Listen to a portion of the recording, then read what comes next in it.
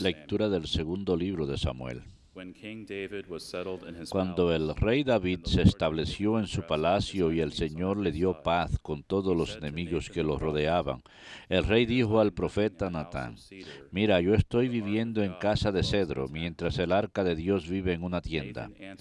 Natán respondió al rey, ve y haz cuanto piensas, pues el Señor está contigo.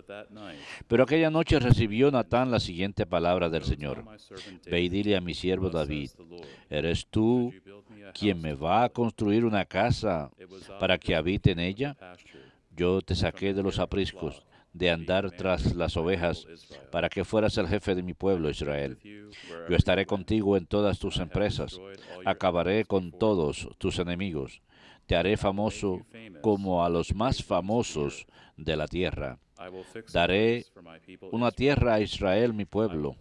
Lo plantaré para que viva en ella sin sobresaltos y en adelante no permitiré que animales lo aflijan como antes, desde el día en que nombré jueces para gobernar a mi pueblo Israel.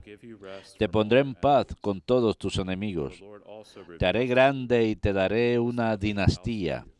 Tu casa y tu reino durará por siempre en mi presencia, y tu trono durará por siempre. I will be a father to him, and he shall be a son to me. Your house and your kingdom shall endure forever before me. Your throne shall stand firm forever. Verbum Domini.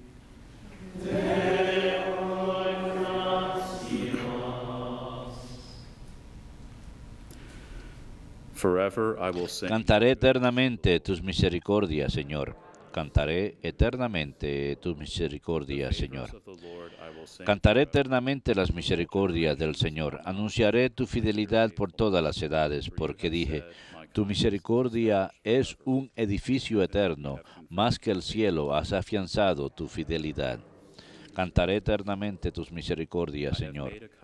Sellé una alianza con mi elegido, jurando a David mi siervo. Te fundaré un linaje perpetuo. Edificaré tu trono por todas las edades. Cantaré eternamente tus misericordias, Señor. Él "You me invocará. Tú eres mi Padre, mi Dios, mi roca salvadora. Le mantendré eternamente mi favor y mi alianza con. Él será estable. Cantaré eternamente tus misericordias, Señor.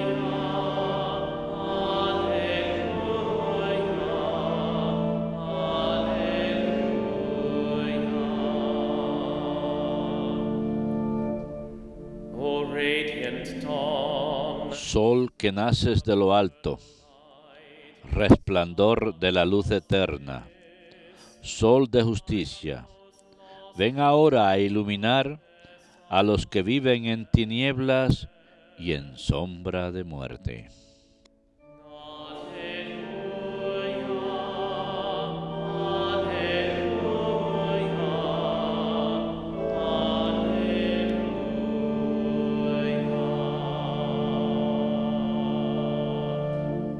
Dominus vobiscum.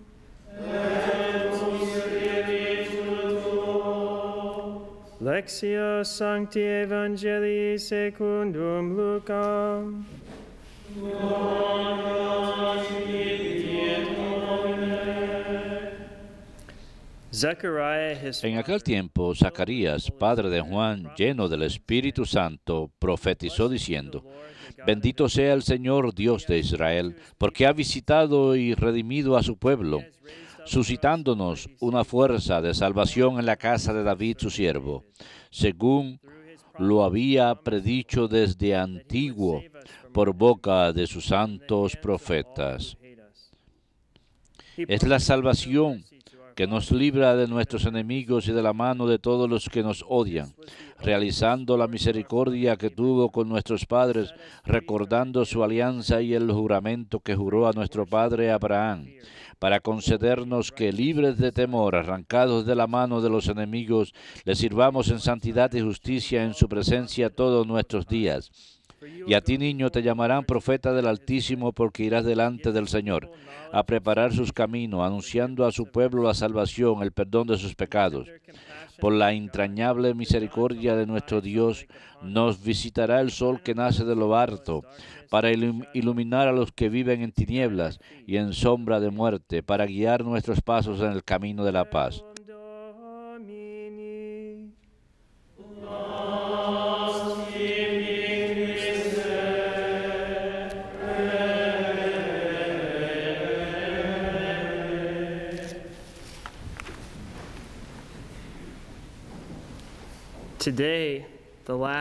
El día de hoy, el último día de Adviento, continuamos en nuestro recorrido de fervorosa expectativa de la venida de nuestro Redentor. Este sentimiento de expectativa y espera se expresa muy claramente en la oración colecta del día de hoy. Ven pronto, Señor Jesús, no demores.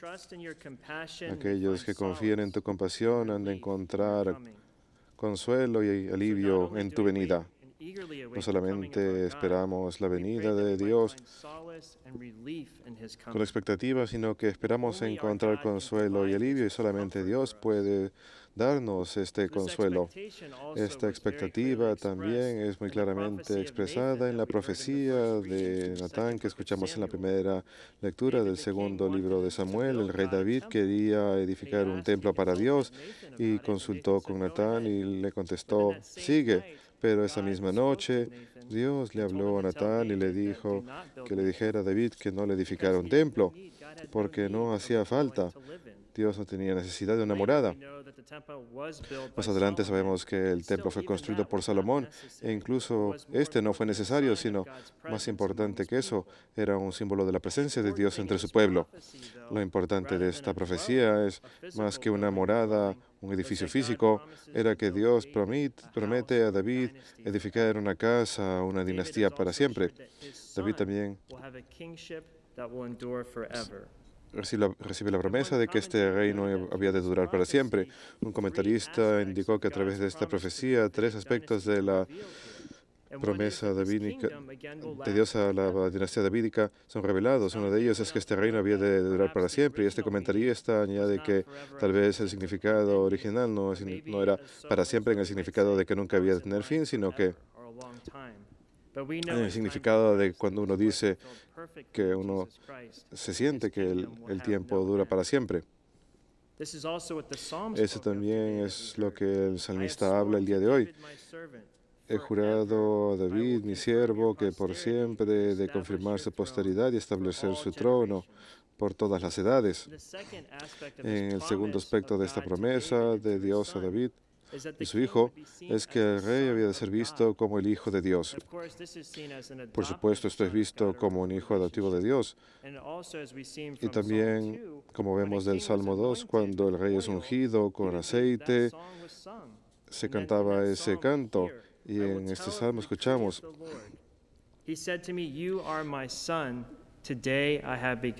Él me invocará, tú eres mi Padre, mi Dios, mi roca, mi, roca salvadora. En esta profecía más adelante nos enteramos que esta promesa de Dios a David es incondicional. A diferencia de Saúl, después de su caída, él fue removido del reino. Pero David, a pesar de su caída, a pesar de sus errores, su reino había de perdurar para siempre y esto es cumplido en Cristo. Pero parece ocurrir un problema cuando termina la monarquía, cuando el pueblo es llevado en exilio a Babilonia. Pero si miramos más cerca, como si miramos la anunciación en Lucas 1 y comparamos eso al pasaje que hemos visto hoy del segundo libro de Samuel, hay simili- similitudes muy grandes entre la segunda de Samuel 7 y la anunciación. Aquí tenemos unas cuantas. heard, "I will make En Samuel escuchamos, great name." Yo he de hacer para ti un gran nombre. Y sin embargo, cuando Gabriel se le aparece a la Virgen, escuchamos que le dice que Again in Samuel, "I will él había de ser grande. En Samuel, kingdom." yo estableceré el, rey- el trono de tu reino. Y en Lucas, en el, Se- el Señor Dios ha de darle el trono de su padre David. Back to Samuel again, "I will Otra vez en Samuel, yo seré su padre y son." él ha de ser mi hijo. En la Anunciación, él ha de ser llamado el. Hijo del Altísimo. Y el último de "We hear Samuel, escuchamos que tu casa y tu reino ha de ser seguro y forever." tu reino de establecerse para siempre. En la Anunciación, Él ha de reinar sobre el reino de Jacob para siempre. Nuevamente, este es el cumplimiento de todas las profecías del Antiguo Testamento. Pero también muestra que los des- el descendiente de David había de finalmente ser el Mesías, o sea que su reino había de ser para siempre y había de ser llamado Hijo de, Rey de Dios. Y en este caso sabemos que es algo literal y por eso es muy importante que José fuera de la tribu de Judá y de la casa de David, porque esto legal- legalmente sería transmitido a nuestro Señor. Y el día de hoy en el Evangelio escuchamos el Benedicto, el cual rezamos todos los días en, la oficina, en el, ofio- el oficio de las lecturas, la profecía de Zacarías, en donde le agradece a Dios por la venida del Mesías, que es profetizado en el libro de Samuel, pero también en la segunda parte de Benedictus escuchamos que Zacarías profetiza su hijo, quien había de ser el profeta del Altísimo y había de preceder al Señor para preparar su camino. Y al final, hacia el final de la profecía de Zacarías, escuchamos que el Mesías es llamado el amanecer del Altísimo que ha de brillar sobre nosotros y disipar la sombra de la muerte y ha de guiar nuestros pies hacia el camino de la paz. Y por supuesto Jesús, como sabemos, se reveló a sí mismo como la luz del mundo. Él brilla sobre nosotros y nos libra del pecado de la muerte. Así que toda, toda esta plática de cumplir las profecías del Antiguo Testamento puede parecer interesante hacer todas estas conexiones o puede que no, pero lo importante es cómo afecta esto, nos afecta hoy en día. El Papa Benedicto lo dijo muy bien cuando enunció. La pregunta es, ¿la humanidad de nuestra era está esperando a un Salvador? Uno tiene el sentimiento de que muchos aparentemente creían no necesitarlo, ellos vivían como si él no existiera. Y peor aún, lo trataban como un obstáculo. Así que nos podemos preguntar, ¿tenemos este deseo? Sabemos que el Señor vino hace dos mil años, pero en este momento tenemos este deseo de la venida de nuestro Salvador otra vez, no solamente para celebrar como hemos de hacer mañana el nacimiento de nuestro Señor, sino tenemos este deseo de que Él venga otra vez en el altar durante la Santa Eucaristía, en la Santa Eucaristía, y también cuando venga otra vez en la segunda venida. Tenemos ese deseo dentro nuestro. Así que al prepararnos para nuestra celebración de Navidad, muy pronto, que esperemos la venida de nuestro Salvador, quien es la luz del mundo, quien desea que acudamos a Él para poder encontrar este consuelo, este descanso y esta fortaleza.